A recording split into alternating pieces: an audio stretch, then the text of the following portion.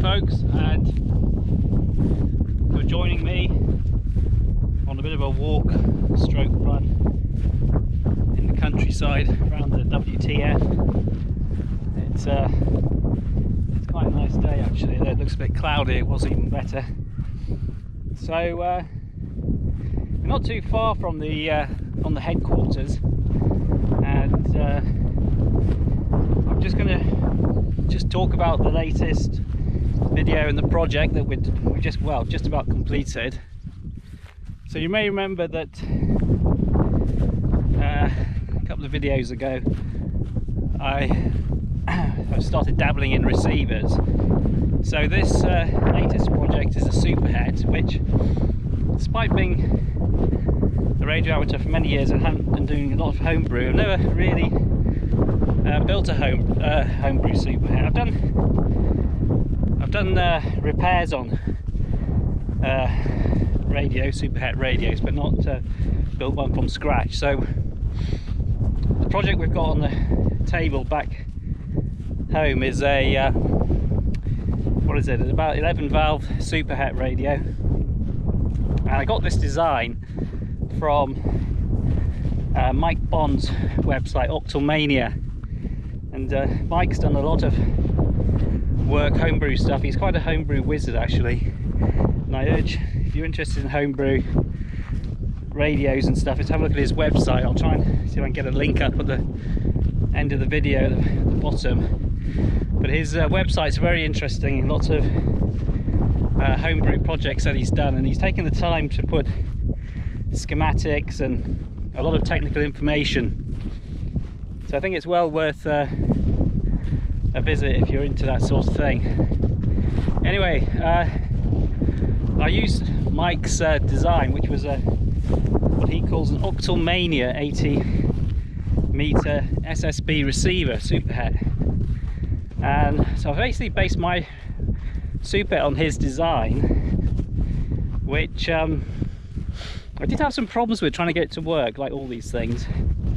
And uh, I know uh, Mike if uh, well I emailed Mike about a couple of things to try and get it sorted out and I actually did eventually get it to work and I did make a few modifications which I'll I'll show you in a minute.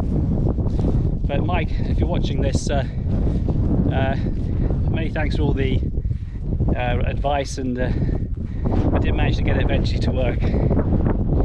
But um, I think overall it's come out quite nicely actually I'm going to give it get back we'll give you a bit of a demonstration of it working.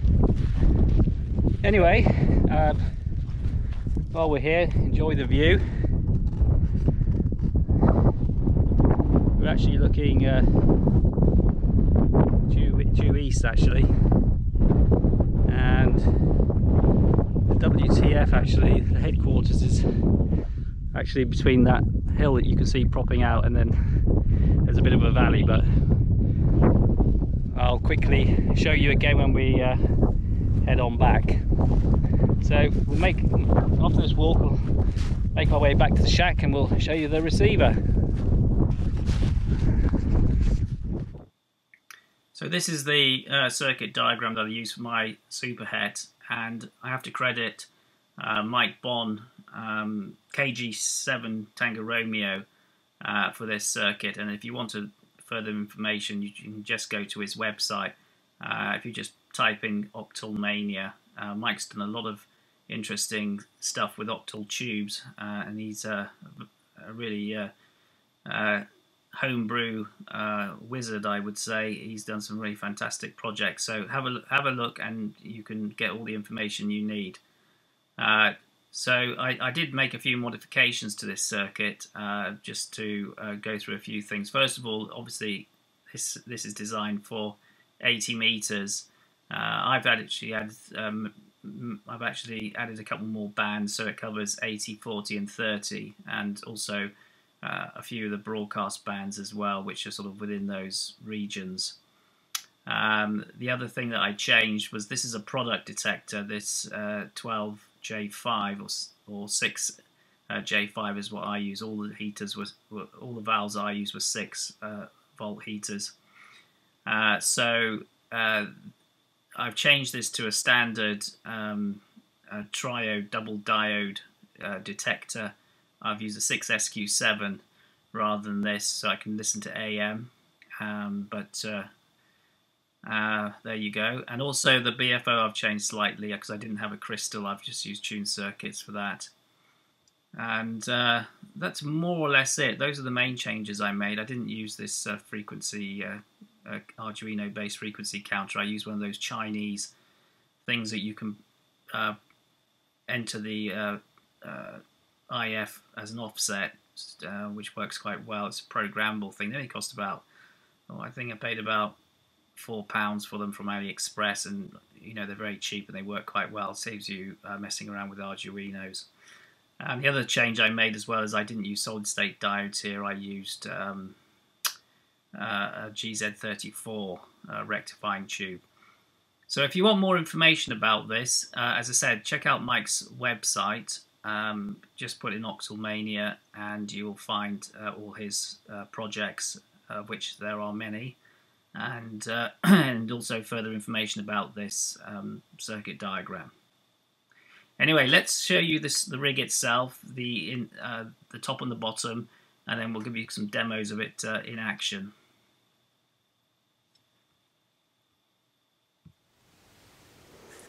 Well, here we are, guys, back in the shack after that nice brisk walk, and this is my latest creation, a three-band superhet which uh, can receive SSB, CW, AM, and it's got a digital display.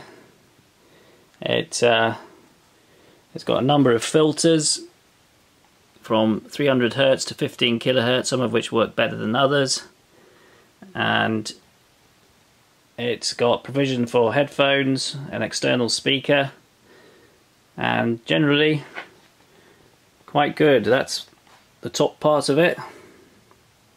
You can see the IF cans. That's the pre-selector and the tuning.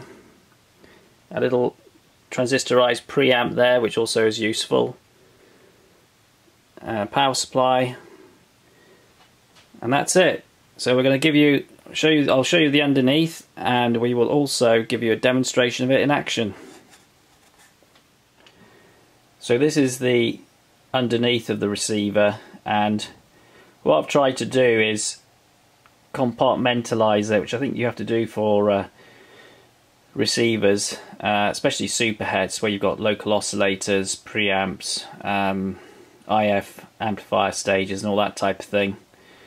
So for instance here you've got the little compartment for the pre-selector and then most of this here is for the IF stage uh, so that's the filter select switch. And I'm, I'm using a combination of those crystal filters that I showed you. And also these these are two little ceramic filters for the 6 kilohertz and 15 kilohertz uh, which don't cost very much actually. You can buy those uh, off eBay quite easily. And they're, they're, only, they're only a couple of quid. Uh, so they're quite good for, for you building receivers and stuff. And then the two boxes there, one's for the uh, part of the pre-selector coils, and then we've also got the local oscillator coils in there. Most of the local oscillator is all down here. And then up on this part of the chassis uh, there's a choke which you can see there uh, which is for the power supply obviously. And then um, in this little corner here tucked away we've got most of the audio uh, stages. And that's more or less it really. It looks a bit of a rat's nest. Um, it's uh, I, I, guess with, with, this sort of thing you've got to sort of cram it all in. Um, I think in retrospect, what what would I have done differently underneath? Uh, probably would have used die-cast boxes rather than these aluminium things, and uh, these coils. I mean, obviously it's a multi-band rig, so uh, these coil enclosures do get a bit uh, a bit difficult. I think in retrospect it might have been better to put if you get like little cans from IF transformers and mount the oscillator coils in there uh, might have been better. But um, yeah, in retrospect it's a lot easier. But th but this was fairly easy to do it like this with these um, uh, sort of cheap aluminium boxes uh, sort of screwed onto the chassis.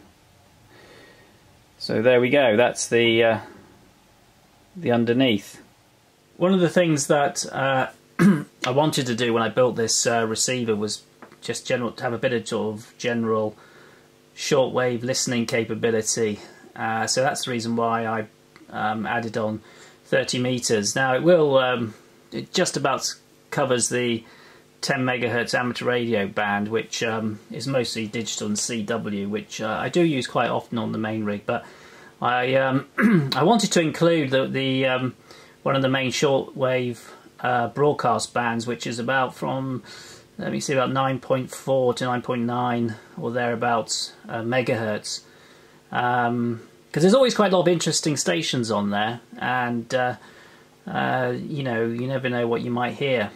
Anyway, so what I've done is I've um, I've tuned it in actually. I've got the volume down. We can have a quick listen to some of these um, bizarre uh, AM stations that you sometimes hear uh, on um, around about this. It's not quite dark yet, uh, so um, probably not the optimal time to listen. But anyway, we'll have a quick peruse to install many more surveillance cameras at Iranian sites.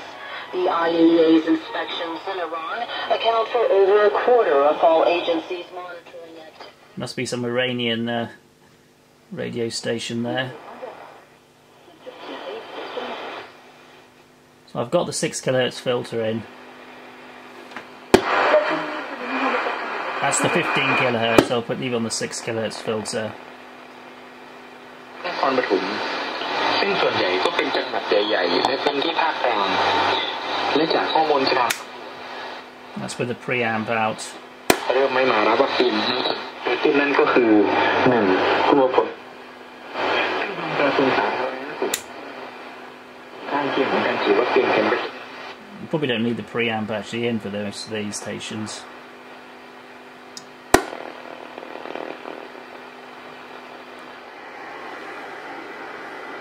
We've got some we've got some rag chewers on it on 80 meters here. Uh, Fred, it's seven years ago when he passed away, Martin.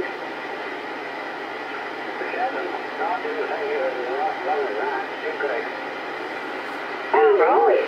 I was surprised at all, mate. Because I, I put, it, put his um, uh, uh, date of uh, silencing on the, on the notes in me on the uh, uh, phone. And I thought, oh, got him there.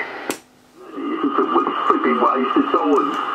He come up This is with the um, 3.2 kilohertz filter in. Oh yeah, he he, uh, he did go into the office. He said one day, he said, "Good, there's a load of miserable blighters there. I ain't gonna work there. I'll work from home." Of course you can if you work on the uh, PC. I mean, loads of work, uh, office work. I'm tending to use the preamp with this filter in because I you do get some attenuation with the filter. The missus is saying something. That sounds not too bad.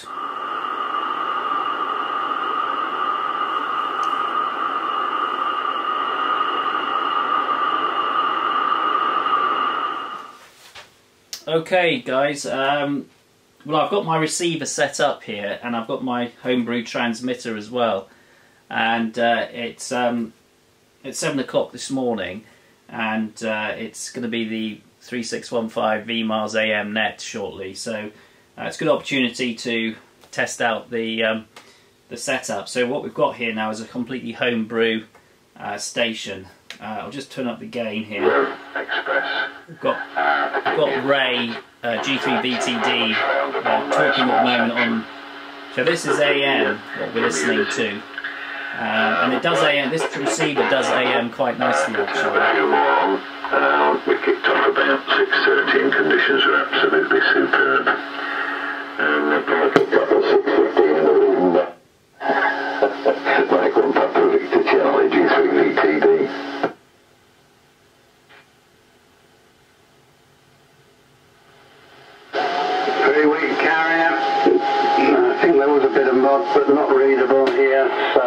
we'll leave gaps uh, uh, if uh, that station wishes to join us. And yes, uh, uh, G3VTD and 1PB3 back to the gate for the sake of my licensing conditions. And yes, I, I was thinking uh, quarter past six of singing all by myself. Um, we had um, a Mirage yesterday, a Raptor. Um, we had all manner of aircraft, Hercules, Chinooks, Agusta 1 and 9, uh, Irish Air Force training aircraft. It looked like a Texan to me, but I don't know what it was. It was some kind of turboprop. Beautiful looking machines here on display, uh, ready for tomorrow, and there'll be more coming today. How would you, Justin? And I'll catch you guys later from Golf Quebec Zero, Tango Bravo, India. Cheers. Uh, GW0 FZY returning. Yep, okay, Stuart, all copied there, and uh, um, fine business on the um, on the air show there. Um, yes, um, uh, funny you mentioned the Wasp. Actually, I used to have an engine from one of those, a Rolls Royce Nimbus. Uh, funny old things, those uh, those Nimbuses. Uh, very noisy, but um, but anyway. Um, you know, you're sounding good actually. You're coming through very nicely here. You're, you're five and nine plus. Um, but uh, I've swapped aerials, um, so hopefully um, uh, you should, uh, should everybody should be able to hear me a bit better. Um, uh, I've sort of tweaked the receiver, and um, uh, everybody's coming through fine on the uh, on the dipole now, so no problems at all. Um, I think everybody's way over the nine at the moment, and I think, as Ray said, that the conditions actually are pretty good for the moment. Um, uh, just a quick message for you, Mike. I've sent you a um, sent you a quick video um, just to show you the um, what you sound like through the new trans uh, the new receiver. Uh, so um, it's um, coming through on WhatsApp. Uh, so uh, hopefully you should get that. Uh, what else? Um, I think people were mentioning yeah a few political things. better not go there. yeah, it's it's it's always a bit of a hot potato that one, isn't it? Anyway, um, I'll keep it uh, keep it short, keep it going round, and I think it goes back up to you then, Ray. Uh, hopefully you should uh, you should be getting me a bit better. Uh, G3 VTD in the group from GW0FZY. Yeah, it's okay. Um, much um, better with the uh, dipole now. Um, look the, um, the rig and uh, working okay. Um,